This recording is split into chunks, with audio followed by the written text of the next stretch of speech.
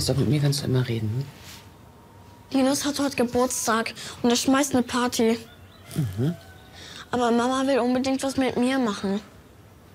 Aber weiß sie nicht, dass du auf diese Party willst? Er hat mich ja vorhin erst eingeladen.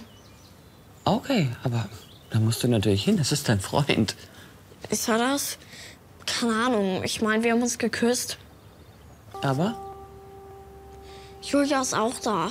Und die ist total verknallt in ihn. Oh, okay, aber solange Linus nichts von Julia will, ist doch, glaube ich, alles in Ordnung. Aber die schmeißt sich hundertprozentig an ihn ran, wenn ich nicht da bin. Aber wieso sagst du Britta das nicht einfach? Vielleicht könnt ihr auch morgen was zusammen machen. Das ist ja schon ewig geplant. Und sie ist eh so gestresst wegen Hendrik und der Arbeit.